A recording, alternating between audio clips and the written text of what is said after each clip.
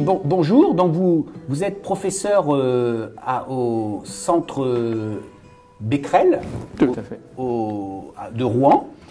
Et je vois là, je suis tombé dessus par hasard, vous avez publié dans le New England Journal of Medicine un article euh, qui rapporte un essai thérapeutique dans le lymphome B à grandes cellules. Alors la première question que j'ai pour vous, je pense que ce n'est pas tous les jours que vous avez publié dans le New England.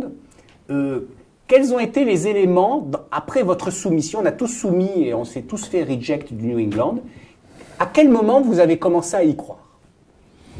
Bah, relativement euh, vite, puisqu'on on a reçu euh, euh, deux ou trois semaines après euh, avoir envoyé le papier un, un- un mail du, euh, de l'éditeur euh, associé qui était euh, tout à fait encourageant, nous disant bah, voilà, faites, vous avez quelques, euh, quelques corrections à faire, et puis renvoyez-moi le papier et, euh, et on en discutera. Et, euh, et donc c'est- ça s'est passé, euh, je dirais, assez vite. Vous avez l'impression qu'il il voulait ce papier? Oui, je pense, oui, oui, c'est l'impression que ça, ça a donné, oui. Ok, c'est- une belle histoire. Euh, après, sur le fond, je regarde votre figure, euh, votre figure 2, votre critère principal de jugement qui comparait vos deux bras dans le lymphome, c'était, votre critère principal, c'était la, la, la progr- progression-free survival. Et il y a un effet significatif, on voit le hasard ratio à 0,73. Et pourtant, quand on regarde euh, la survie globale, l'OS, les deux courbes de Kaplan-Meier sont strictement superposables. En d'autres termes, le, nouveau, la nouvelle molécule, qui est sans doute onéreuse, l'innovation euh, proposée, n'apporte rien en termes de survie globale. Euh, et donc, pourquoi utiliser cette nouvelle molécule si le, traitement de référence AirShop propose la même survie la- L'analyse, elle peut être, euh, elle peut être euh, faite de, plusieurs manières. Euh, déjà, on- peut-être qu'il faut attendre un petit peu pour que la survie, euh, euh, puisque euh, là, il y avait à peu près deux, ans pour le- l'ensemble de, de, de- de su- survie, de suivi de, cette cohorte. Donc peut-être il faut attendre un peu.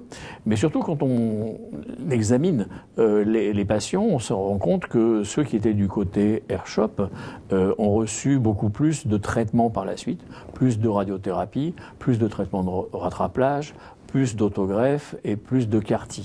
Et euh, certainement, à l'avenir, les patients euh, en rechute euh, recevront très vite une deuxième ligne avec des CAR-T. Et, et peut-être que fina- finalement, le, le dogme qui dit que la PFS dans les lymphomes B diffus à grandes cellules est relié à la survie globale va disparaître. Euh, mais euh, je pense que les choses peu changent. Quoi. Vous êtes un peu victime de, de- de- de l'efficacité des, des deuxièmes lignes, finalement. Oui, enfin, je sais pas, je ne considère pas comme étant euh, en- une victime. Je pense que les, les, les patients en, en bénéficient, mais euh, je crois quand même que euh, pour ces patients, il vaut mieux être euh, sans traitement et en rémission complète chez soi que d'être entre l'autogreffe et le, et le carticelle. Donc, donc, sans doute, sur la qualité de vie, Oui, certainement, sachant qu'en qualité de vie, pendant le traitement, ça ne change rien. Écoutez, Hervéti, euh, encore félicitations pour, pour cet exploit, ce, ce résultat remarquable.